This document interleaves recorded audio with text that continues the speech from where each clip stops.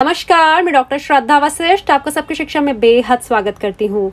आज मैं फिर आप सभी लेकर आई हूँ बहुत ही महत्वपूर्ण जानकारी जो कि संबंधित है दिल्ली के शिक्षा विभाग के द्वारा जारी की गई एक नोटिफिकेशन से। जी हाँ दिल्ली के शिक्षा विभाग ने reimbursement of tuition fees to the minority students of classes first to twelfth यानी कि माइनॉरिटी स्टूडेंट्स को जो ट्यूशन फ़ी का रीइंबर्समेंट मिलता है, कक्षा पहली से बारहवीं के बच्चों को उनके संबंध में जारी करा है नोटिफिकेशन इसमें कहा गया है कि प्राइवेट स्कूल्स को जो, यह बात बार बार कही गई है कि बहुत से ऑनलाइन वेरिफिकेशन स्टूडेंट्स की अभी भी पेंडिंग है, अभी भी पूरी नहीं हुई है ई डिस्ट्रिक्ट पोर्टल पर।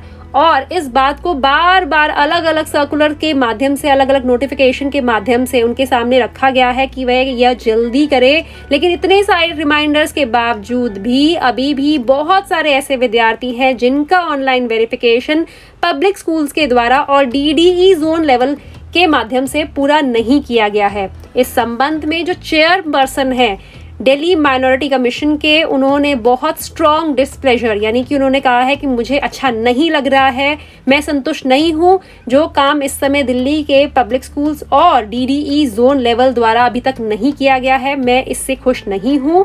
और साथ ही यह कहा गया है फिर से, सभी डीडी जोन्स को head of recognise unaided private schools को कि वह ऑनलाइन वेरिफिकेशन पूरी करे विद्यार्थियों की, जो reimbursement of tuition fee to the minority students के तहत आते हैं।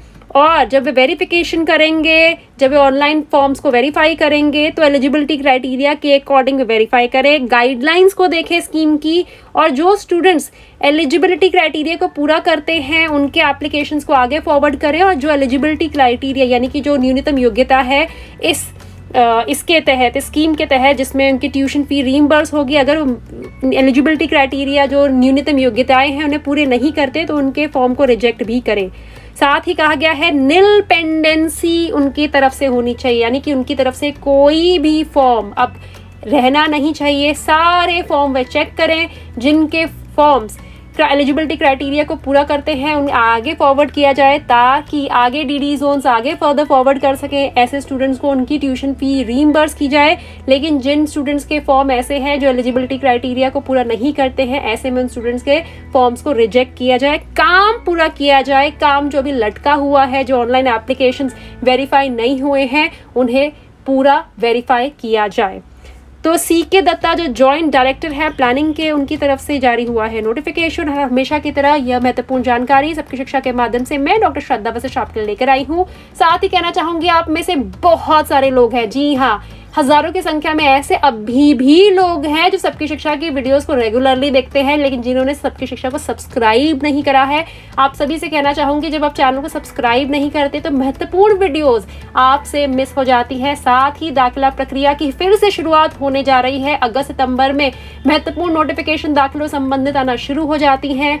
तो आप सबकी शिक्षा को सब्सक्राइब करें और सबकी शिक्षा के माध्यम से सही जानकारी, सभी जानकारी, निःशुल्क जानकारी प्राप्त करें। अगर आपको ये वीडियो अच्छी लगे तो मेरे आत्मविश्वास को बढ़ाने के लिए इस वीडियो को लाइक ज़रूर करें। और अगर आपने अभी तक सबकी शिक्षा को सब्सक्राइब नहीं करा है, सबकी शिक्षा को आज सब्सक्राइब करें। मुझे डॉक्टर श्रद्धा वशिष्ठ को इजाज़त दीजिए। नमस्कार।